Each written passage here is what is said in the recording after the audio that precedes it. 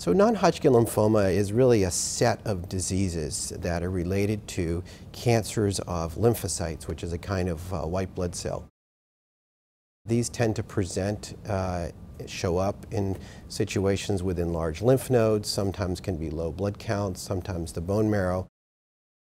Well, it can affect someone's body in a variety of ways. One can just be from a mass effect of a lump growing big and causing some kind of either discomfort or uh, other anatomical problem.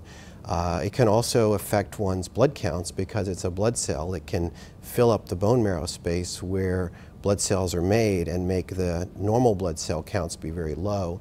And finally, since it's an immune cell, it can also affect the functioning of the immune system, so people are also potentially at increased risk for infections.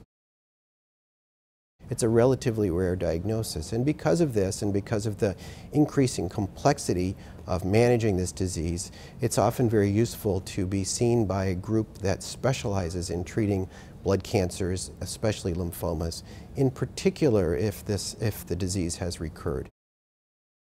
For non-Hodgkin lymphoma, this is a disease, one of the big success stories in cancer therapy. Uh, now, for the aggressive lymphomas, probably two-thirds of people can be cured uh, with initial therapy, with just the first-line therapy. And there are many other uh, kinds of the slower-growing non-Hodgkin lymphomas where we have many treatments. This is an area where there have been rapid advances, improvements in outcomes, but still, unfortunately, we have some work to do. Um, many of the advances that are standard of care today are available at tertiary referral centers in clinical trials before they're available to the general public. And we really would encourage people to consider getting a consultation or second opinion or enrolling in a clinical trial potentially if that's appropriate.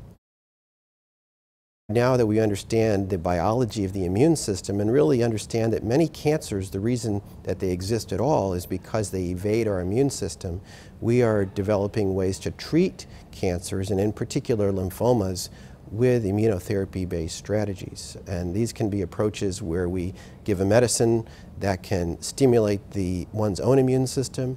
We also have approaches where we can take out the immune T cells, re-engineer them and reinfuse them to go back and uh, attack the uh, lymphoma.